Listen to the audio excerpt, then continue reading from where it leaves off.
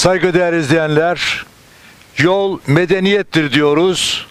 Bugün 12 Nisan 2023 Çarşamba.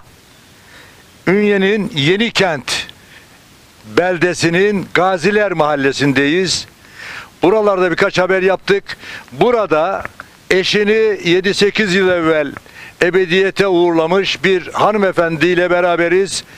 Evinin bulunduğu yerden geçen yol berbat. Bu çağda bu ülkeye de Ünye'ye de Yenikent'e de yakışmıyor. Şimdi önce sizi bir tanıyalım ablam. Adın soyadın.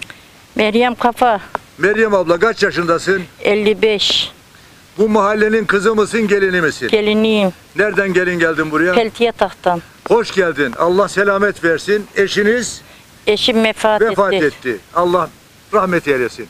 Buyur abla. Buradan buradan senin memleketinden de parlamentoda yetkili insanlar var.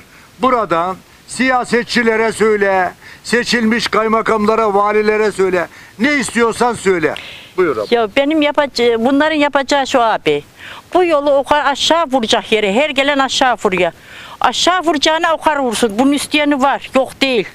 Biz bu yolu illa ya- şey etmen demiyoruz. Yapsınlar. Ormana girmiyorlar da senin tarafa mı geçiyorlar? illa aşağı geliyorlar. Tamam, anladım. ne varsa aşağı kapının önüne geliyor buraya. He. Hepsi, her pislik. E, Benim kimsem yok. Ben bir yetim bayanım. Evet Benim doğru. kocam vefat etti. Allah eşim. rahmet eylesin. Benim diyeceğim bu kadar.